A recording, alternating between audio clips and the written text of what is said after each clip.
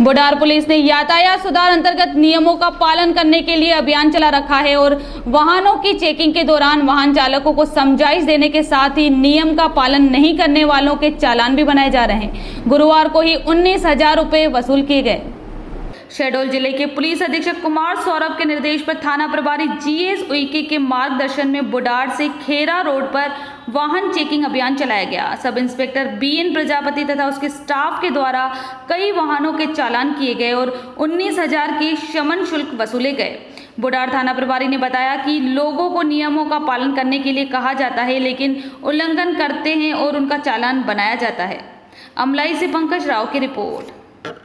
थाना बुढ़ार का उप निरीक्षक बी एन प्रजापति अमराह स्टाफ के कल दिनांक को अलग अलग तरह के वाहनों से उन्नीस हज़ार रुपया करीब का संबंध शुल्क वसूला है। सर लोगों के द्वारा कुछ पेपर न्यूज़ वगैरह में भी आते हैं कुछ अवैध टाइप की वसूली होती है। क्या इस पर क्या कहना चाहेंगे? अब जिनके विरुद्ध चलान तैयार बन जाता है और वो पुलिस के अगेंस्ट हो जाते हैं और अनर्गल बातें